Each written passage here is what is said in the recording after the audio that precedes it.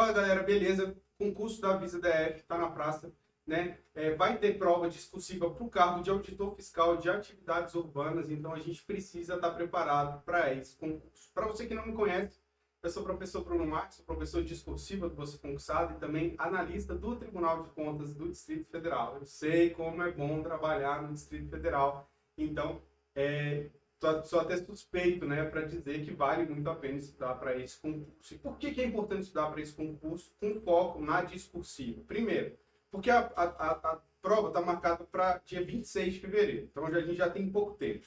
É, vai ser aplicada a prova objetiva e a prova discursiva junto, e a banca ela só deu 4 horas e 30 para poder fazer as duas provas, tá? Então quem aqui não, quem, quem não tiver acostumado em fazer prova discursiva, pode ser que acabe demorando demais para poder tentar finalizar a discursiva e isso prejudica o desempenho no objetivo. Né? Então é importante que você já tenha um treino, já tenha praticado uma discursiva para não ser surpreendido com, algo, com algum tema ali, com o formato da prova no dia do seu concurso. Então o primeiro desafio é finalizar a prova objetiva e a prova discursiva dentro do tempo.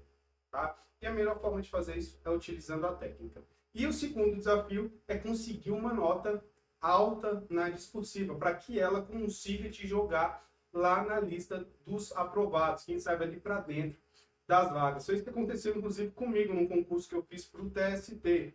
Tá? Tinha uma prova discursiva, tá aqui meu nome, é, fiquei em segundo lugar no concurso, só para você ter uma ideia.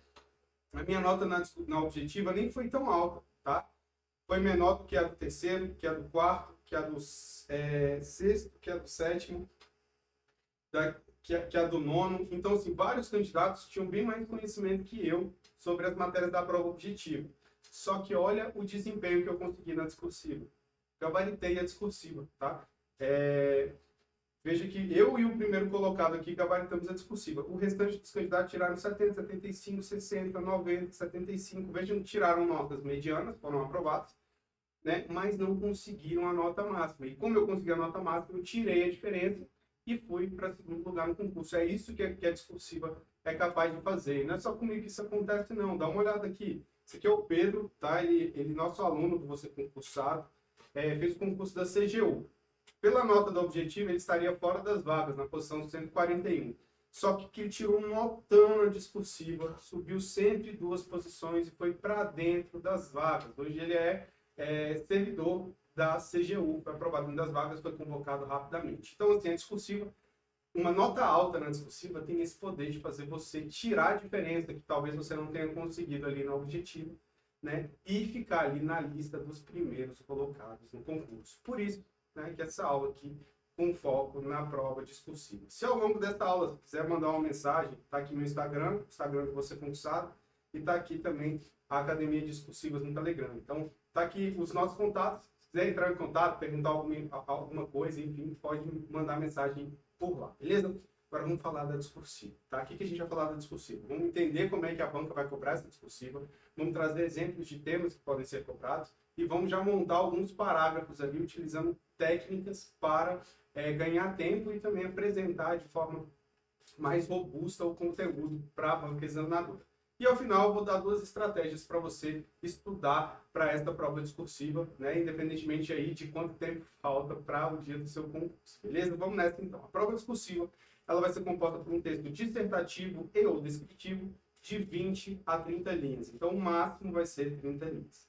É, a prova vale 20 pontos e para ser aprovado o candidato precisa tirar um mínimo de 8 pontos. Ou seja, tirou 8, menos de 8 pontos, está eliminado do concurso, tá bom? É, informações relevantes aqui. Primeiro, texto dissertativo ou descritivo. Por que, que a banca fala dissertativo ou descritivo?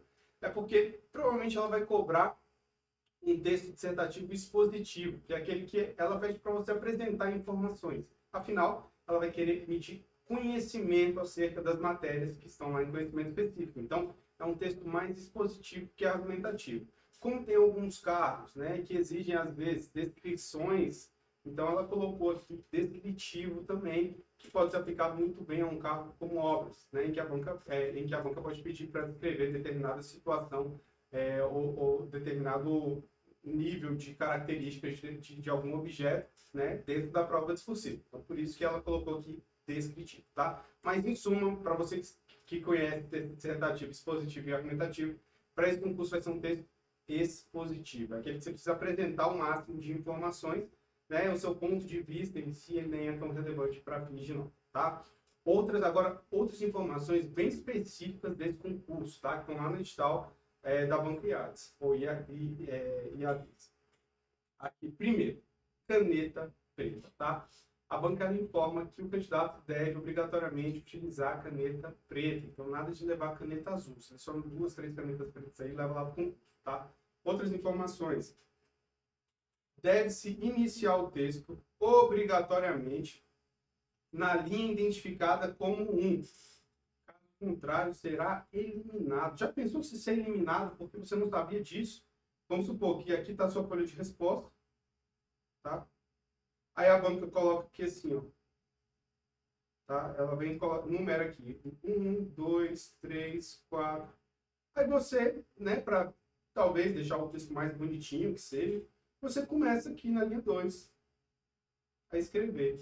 Cara, se você deixou a linha 1 em branco, ó, você não cumpriu o que está aqui no edital, você estaria eliminado do concurso, tá? Então, é um detalhezinho que para mim é, é besta, tá? Para mim a banca está sendo super rigorosa aqui, eliminar um candidato, porque ele começou na linha 2, mas são as regras do jogo. Estão lá, então o candidato precisa estar atento. Segundo, considera-se linha efetivamente escrita aquela que possua ao menos uma palavra inteira escrita. Então, é, o que, que isso quer dizer? Imagina o seguinte, a banca ela colocou aqui que tem que ter um mínimo de 20, um máximo de 30. Vamos supor que chegou aqui na linha 20, tá? Vamos supor que é a linha 20, beleza? Linha 20, aí aqui está a linha 21, só para você entender melhor. Está aqui a linha 20. Aí você veio e escreveu bem assim.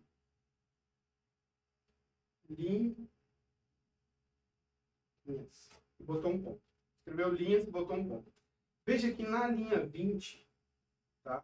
Na linha 20, não tem uma palavra inteira, tem só a segunda sílaba da palavra linhas. Então, como não tem uma palavra inteira, a banca ela desconsidera essas linhas para fins de cálculo. Então, em, é, em regra, na prática, o candidato aqui ele escreveu 19 linhas e não 20. Se ele escreveu 19 linhas, ele não escreveu o mínimo exigido pela banca, então ele também estaria eliminado do concurso. Está vendo que são detalhes, né, assim, irrelevantes praticamente, é, que a banca não, não precisava penalizar dessa forma, mas que ela vai penalizar porque está prevista no edital. Então, qual é o foco aqui? O cuidado. Começar com a linha 1, utilizar a caneta preta e tá, escrever o máximo de linhas possíveis, tentar escrever as 30 linhas no concurso, beleza? Show de bola. Qual outra informação relevante, né, que talvez seja mais relevante aí para fins de preparação, né, não para fins de prova em si, mas para fins de preparação, é que a banca vai cobrar matérias relacionadas a conhecimento específico, tá? Então, é, você vai ter que entrar lá no edital, ver o seu cargo, né, e olhar quais são as matérias de conhecimento específico. O tema da discussão vai ser algo relacionado àquelas matérias, tá? É, para fins de, do, do, nosso treinamento, a gente tem, para esse concurso da, da Visa, a gente tem dois cursos, tá? Um curso voltado para atividades econômicas e urbanas e outro curso voltado para obras, edificações e urbanismo, tá? É, só para ter uma ideia, hoje, né, a gente está gravando aqui o vídeo agora no dia 9 de janeiro, né? Então hoje é, a gente tem o que lá no site? A gente já tem aqui temas sobre imunidade tributária, contribuição de melhoria, as obras, é, remissão, isenção e anistia, lançamento tributário, tipo de lançamento, legislação tributária, cobrando é, algo relacionado a SMS, Lei 5.547 e Decreto 36.948. Veja que a maioria desses temas, eles são inéditos, tá?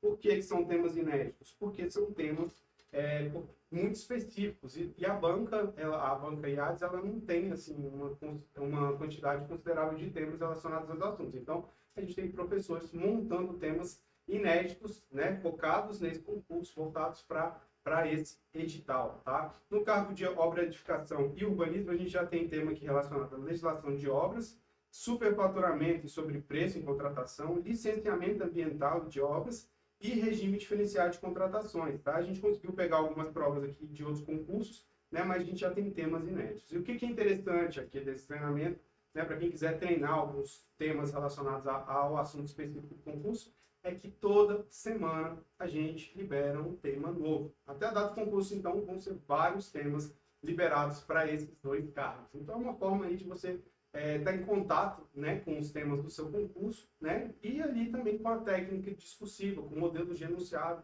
Isso tudo vai te tranquilizar né, no dia da prova, beleza? Mas vamos entender aqui como que a banca cobra isso. Para isso, a gente entrou lá na biblioteca, da biblioteca de discursivos. Aqueles temas que estão na área do aluno estão lá na biblioteca discursivas também, beleza? É, eu entrei lá, pesquisei a joguei aqui direito tributário, legislação tributária, é, e filtrei ali pelo ano. Aí a banca, me, aí o sistema, né, me deu aqui uma questão inédita, né, de 30 linhas, com padrão de resposta e resolução em texto. Então, é, tem esse enunciado aqui, foi elaborado aí pela equipe, você sabe. O enunciado tem aqui um texto motivador, tem aqui um comando e tem aqui os tópicos. Esses tópicos aqui são uma característica da banca IADES. Ele lista ali o que ele quer que o candidato responda, tá? Então, aqui no texto motivador, ele conta uma historinha, fala sobre uma companhia de saneamento, tal, tal, tal. É, ainda diz assim, ó, que acompanha uma sociedade de economia mista de capital aberto, negociado na Bolsa. Trouxe essas informações e pede para que o candidato redija um texto, respondendo de modo fundamentado ao seguinte. Segundo a Constituição Federal, o que consiste imunidade tributária recíproca? Tá? Recíproca. Depois, segundo o entendimento do STF, é possível a extensão da imunidade tributária recíproca à referida sociedade de economia mista? Então, quer saber, segundo o STF, se isso aqui, se, se nesse caso dessa companhia poderia ser extensível essa imunidade. Aponte três parâmetros utilizados pelo STF ao pacificar seu entendimento acerca da possibilidade de extensão da imunidade tributária à sociedade de economia mista. Tá? Então, veja que a banca ela pede de forma bem bem específica ali, que o candidato responda a três tópicos. Beleza? Três tópicos. Show? Esse é o modelo que a banca normalmente traz. Porém, isso pode variar, tá? Esse enunciado pode variar. A banca ela pode trazer dois tópicos. A banca ela pode trazer quatro tópicos. Pode trazer cinco tópicos. Né? Então, ela vai variando essa quantidade de tópicos. Isso vai interferir justamente na estrutura do seu texto.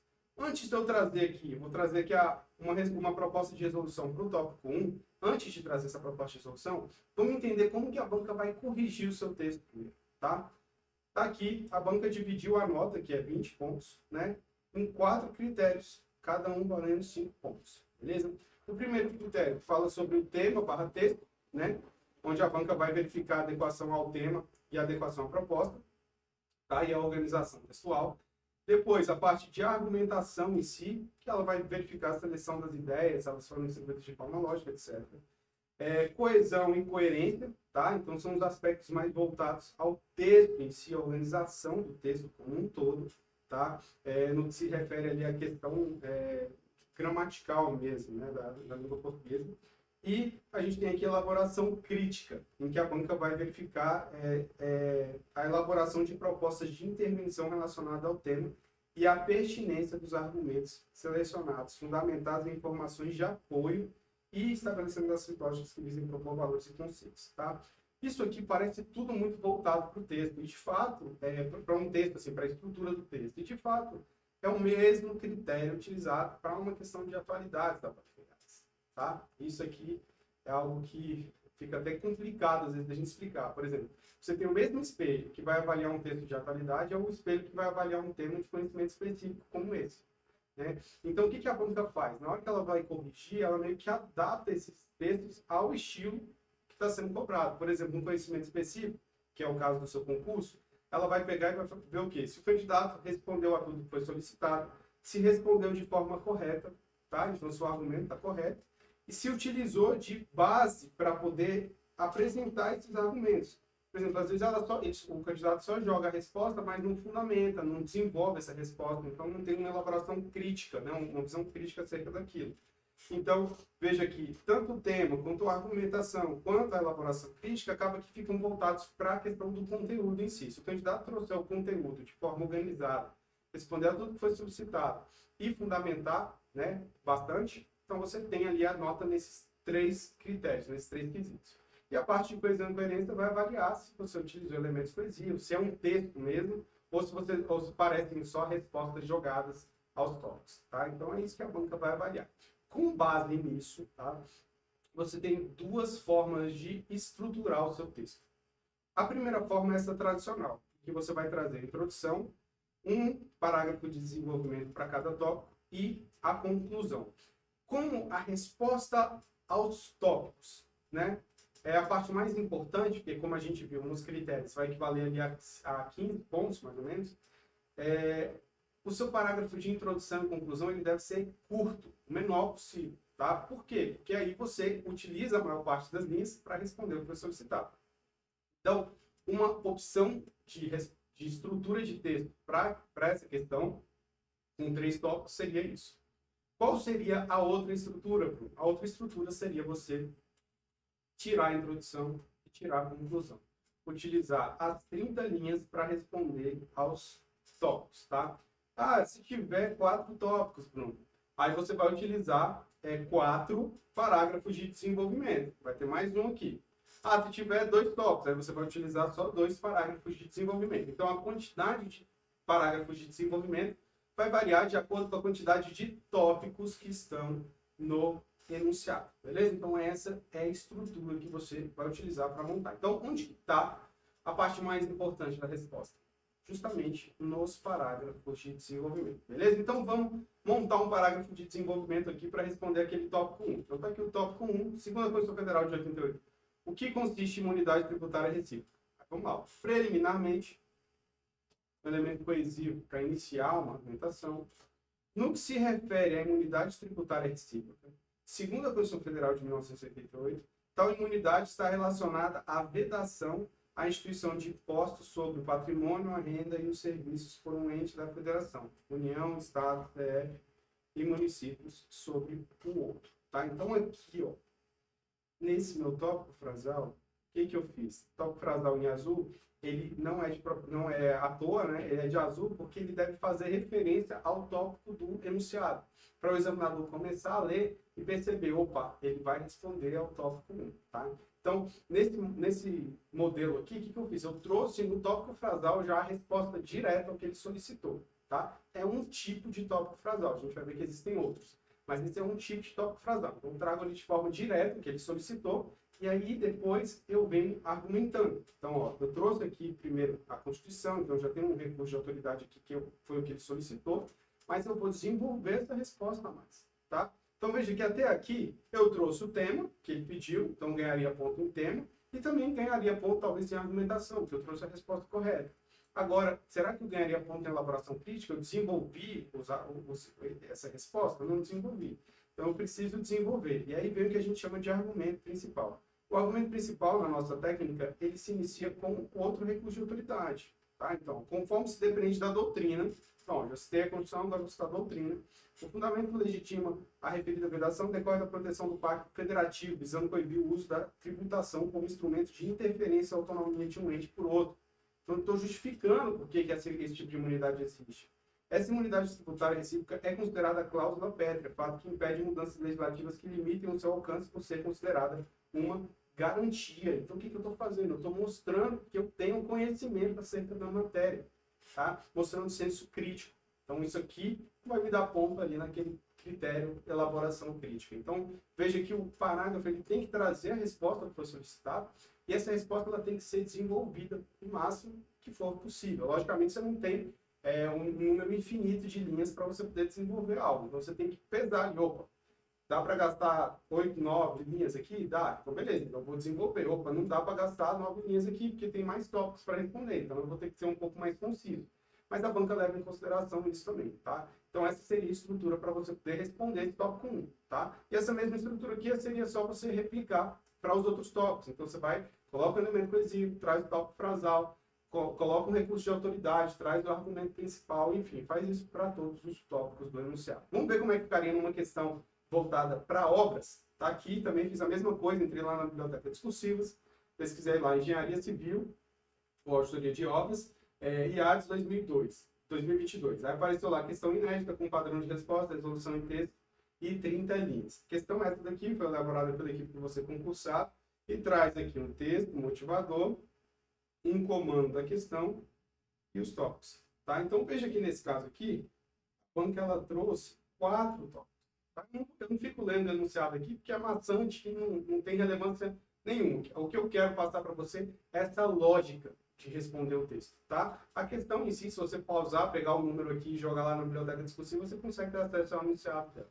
Mas o que importa para a gente é isso aqui, ó, são os tópicos. Então, está aqui definido que a banca pediu para poder responder. Então, nesse caso, eu poderia fazer um parágrafo com introdução, quatro parágrafos de desenvolvimento e uma conclusão, né? um parágrafo de desenvolvimento para cada tópico, ou eu poderia simplesmente fazer quatro parágrafos né, de desenvolvimento, um para cada tópico, sem introdução e sem conclusão, tá? Então, o objetivo, nesse caso, seria usar as 30 linhas. Agora, o que, que eu não sugiro fazer é o seguinte, poxa, você tem 30 linhas, aí você fala assim, não vou fazer introdução e não vou fazer conclusão.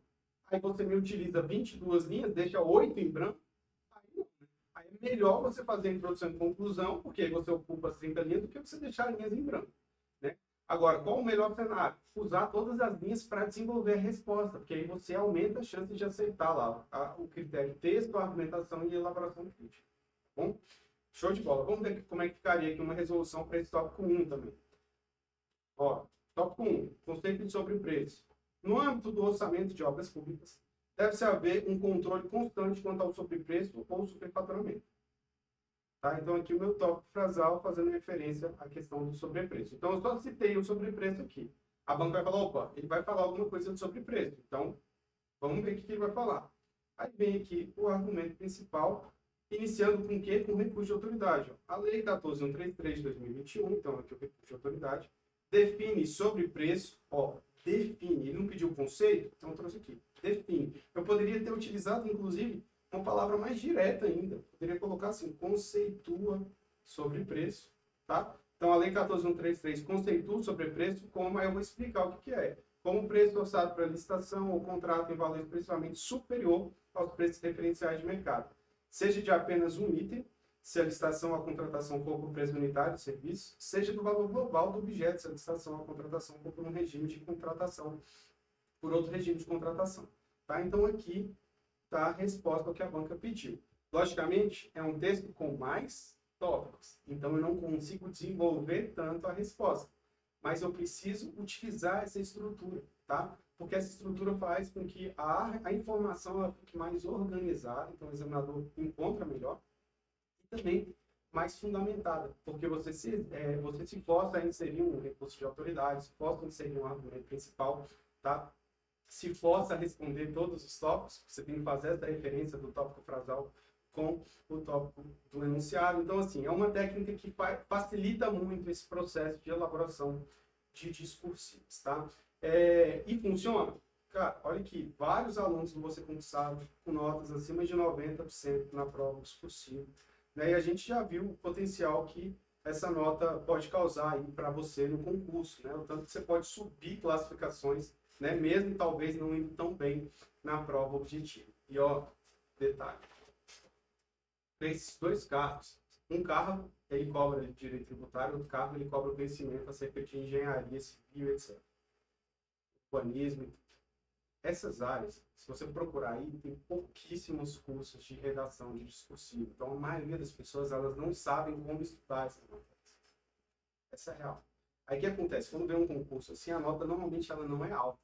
Se você aprende uma técnica simples, pratica algumas questões, seu nível já vai lá para cima. Então, é possível que você né, tenha um desempenho bem superior ao desempenho desses outros candidatos e com isso você consiga várias classificações. Tá? Isso é uma realidade para essas áreas. Logicamente, você precisa ter um conhecimento bom de, de, das matérias de conhecimento específico, né? Até porque vai cobrar algum assunto relacionado a isso e você vai ter que desenvolver. Mas, pressupondo que você já conseguiu né, ter a redação corrigida, então é porque você já teve um bom desempenho ali, então você tem um conhecimento sobre a matéria. Então, qual vai ser o seu diferencial? Né? E aí a oportunidade de se tornar discursivo o seu diferencial. Então, quais são as estratégias que eu passo aqui para você? Tá? Vamos construir dois cenários. Vamos imaginar o cenário que você não tem mais tempo para estudar, tá? Você viu esse vídeo aqui, já está muito próximo da prova e tal, não tem mais tempo para estudar. O que, que eu sugiro que você faça? Vai lá na biblioteca discursiva, assina a biblioteca, tá? Assina a biblioteca discursiva para você ter acesso ao padrão e as propostas de resolução. Aí você seleciona vários temas para esse concurso e pelo menos vê a resolução desses temas, né? Entende ali mais ou menos como que eu uso a estrutura. Isso aqui é, é tranquilo, essa biblioteca discursiva, a assinatura dela é bem baratinha, você pode entrar lá e conferir. Agora, se você tiver mais mais de 10 dias até a prova, então tenho aqui mais de 10 dias até a prova, o que, que eu sugiro? Sugiro que você pegue o curso completo para o seu carro. Então, você vai pegar o curso completo lá para o carro que envolve tributário ou para o carro que envolve obras, tá? Escolheu lá o curso completo, aí lá você vai ter a técnica, lá você vai ter os temas, a resolução desses temas, tá? E a resolução desses temas, ela é colorida, é bonitinha, igual a gente apresentou aqui na aula, tá? Aqui também tem a resolução, mas como não tem a técnica atrelada, não necessariamente precisa ter essa, essa, essa metodologia, né? Mas aqui você tem dentro do curso e você tem aqui correções, tá? E por que que eu disse mais de 10 dias? Porque no, nossa correção ela leva 7 dias para ser é, para uma redação ser corrigida no nosso, no nosso curso, né? Então, se você tem 7 dias, você tiraria um dia para poder ver essa parte de técnica, que é muito sucinto no curso. Então, tirar um dia para ver essa parte, no outro dia você já faria um tema ou dois temas e encaminharia para correção. E aí você ia receber um feedback antes da data da prova, para você olhar e ver o que, que você podia melhorar. Então você já vai para a prova já com um feedback ou dois feedbacks ali do que você poderia fazer de melhor para conseguir uma boa nota nesse concurso, beleza? Então essa seria, essa seria as minhas dicas para você ir para esse concurso, né? Com o objetivo de conseguir um desempenho melhor na discursiva. Se tiver ficado com alguma dúvida, tá aqui meu contato, contato com você concursado, também tem o nosso Telegram, beleza? Então é isso, um forte abraço e bons estudos.